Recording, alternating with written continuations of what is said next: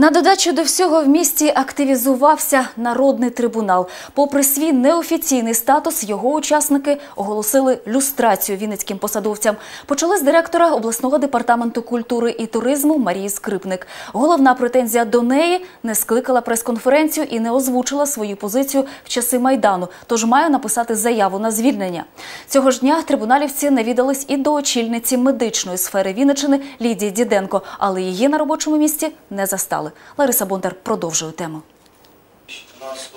Люстрація по-вінницьки. Змінювати владу на місцях взявся Народний трибунал на чолі з Юрієм Хортом. Однією з перших написати заяву на звільнення примушували начальницю обласного управління культури та туризму Марію Скрипник. 11 березня їй зачитали рішення іменем Народної революції. Скрипник Марія Васильівна була згодна з загальною політ- політикою партії регіонів і її очільників, тому є співучасником злочинів, вчинених ними проти українського народу.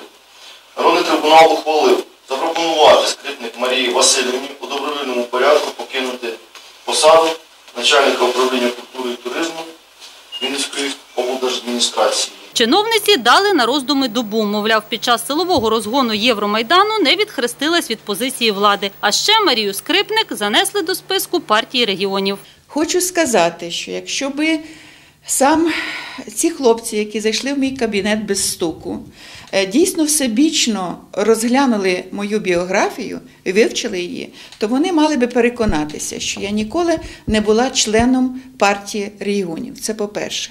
А тим більш ніяких злочинів проти українського народу я не вчинила. Виконувати вимоги членів трибуналу заслужена артистка відмовилась. Їхні дії вважає незаконними. Переконана, є це вільні та правомірні способи передачі влади. Я законопослушна людина. Я е, на цій посаді на запрошення губернатора області. І, звичайно, тільки губернатор може мене прийняти на роботу і звільнити з цієї посади. Трибуналівці протиправними свої дії не вважають. Мовляв, виконують волю народу, що прагне очищення влади. Ми хочемо е, добитися від е, чиновників, е, які є членами партії регіонів, які є співучасниками злочинів цієї партії правлячого режиму, добровільної відставки.